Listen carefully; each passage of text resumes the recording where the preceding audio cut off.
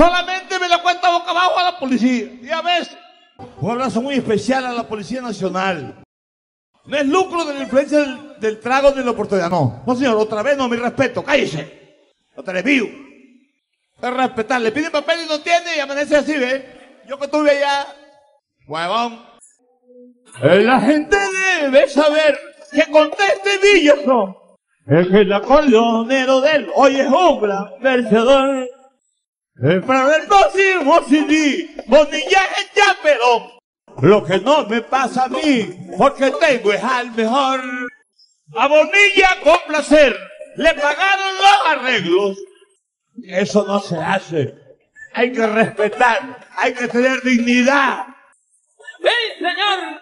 A Bonilla con placer le pagaron los arreglos para después decir al pueblo que se está ganando el rey.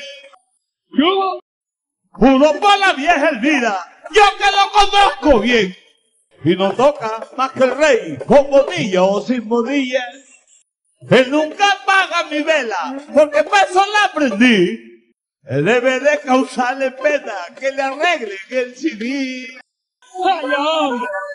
El Villazón que le consigna, le voy a mandar decir que si se le va a Bonilla, que le busca el turco Gil.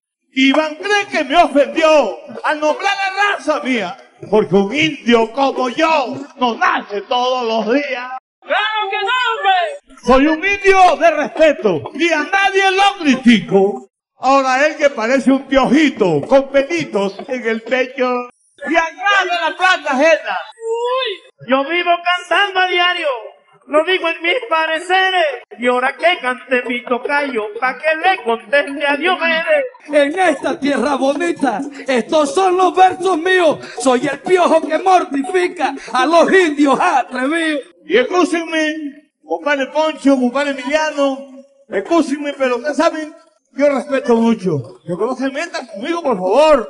Ustedes como mayores, corrijan a sus menores, corrijan a sus menores. Y que loco se volvió, comentan mis amistades.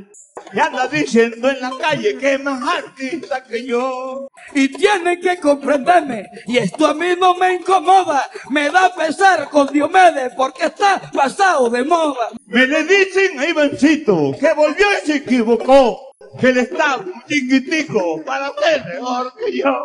El pobre ya se acompleja y mi mente se lo aclara.